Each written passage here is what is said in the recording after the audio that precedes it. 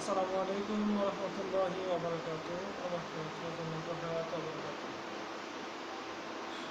প্রথমত, মহান আল্লাহ তাআলা রব্বুল আলামিন সবরাত সম্পর্কে বলেছেন, নবী নবী করিম সাল্লাল্লাহু আলাইহি সাল্লাম মসজিদে নববীতে যখন বসতেন, আসর নামাজের পরে সকল উম্মতের জন্য তাদেরকে নিয়ে যখন বসতেন, সকল উম্মতের জন্য বলতেন যে, মহান আল্লাহ তাআলা রব্বুল আলামিন আজকে এমন একটা রাত্র, যেই রাত্রের মাধ্যমে আল্লাহ রব্বুল আলামিন ভাগ্য রজনীর রাত্র বলে বর্ণনা করা হয়েছে।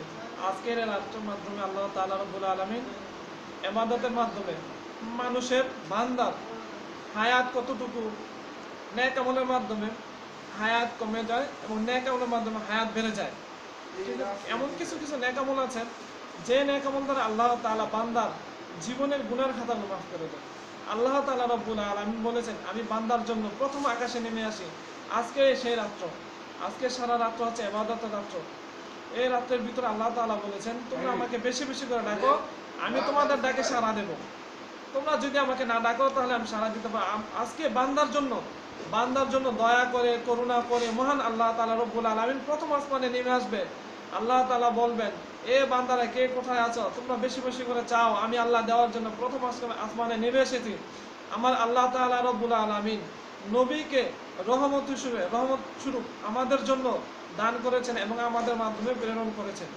যে আজকে রাত্র এবাদতের নিয়ম হচ্ছে গা, নামাজের যে নিয়মটা নাওয়াইতুয়ান উসাল্লিয়া লিল্লাহি তাআলা রাকাতে সালাতিল্লাহি লাইলাতুল বরাত, নফলে মোতাবাদ জিহানিলা জিহাতিল আল্লাহু আকবার। এই নামাজটা এমনভাবে পড়তে হয়, দুই রাকাত করে চার রাকাত। প্রথমত দুই রাকাত নামাজ পড়বেন, নামাজ পড়ার পরে কিছু পরিমাণ দুরুশরীফ পড়বেন, সূরা ফাতিহা পড়বেন সূরা ইখলাস পড়বেন। সূরা ফাতিহা হচ্ছে আলহামদুলিল্লাহি রাব্বিল আলামিন, আর রহমানির রহিম। মালিকি ইয়াউমিদ্দিন, ইয়াকা না'বুদু ওয়া ইয়াকা নাস্তাইন ইহদিনা সিরাতাল মুস্তাকিম আলাইহিম আমিন।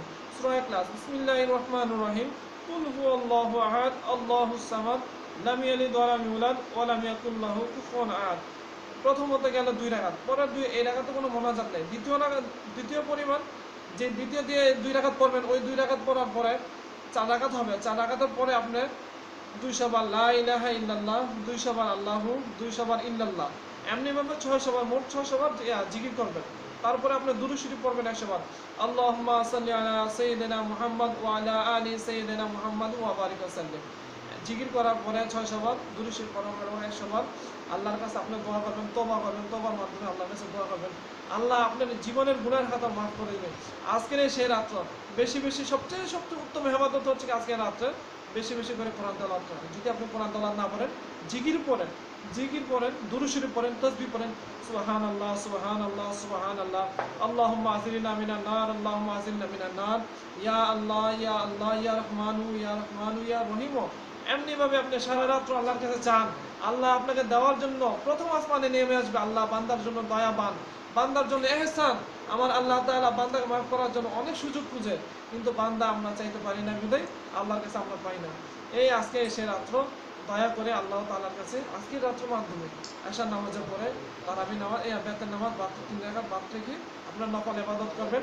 নকল এবাদত শেষ বেতের নামাজ পড়ে আপনারা নামাজ পড়ে আল্লাহর কাছে দোয়া করবেন। এই দোয়ার মাধ্যমে আল্লাহ দেখবেন। আজকের খাতিরে কারণ মহামারী দেশ ভরে যাচ্ছে, মানুষ অনেক আক্রান্ত হচ্ছে। আল্লাহ তালা যেন আজকে রাত্রে মিছিলায় আমাদের জীবনের গুণার মাফ করে দেয় এবং সকলকে রূপ থেকে যেন আল্লাহ তালা মাফ করে দেয়। ওয়াখির দাওয়ানা আনিল হামদুলিল্লাহি রবিল আলমিন। আসসালামু আলাইকুম রহমতুল্লাহ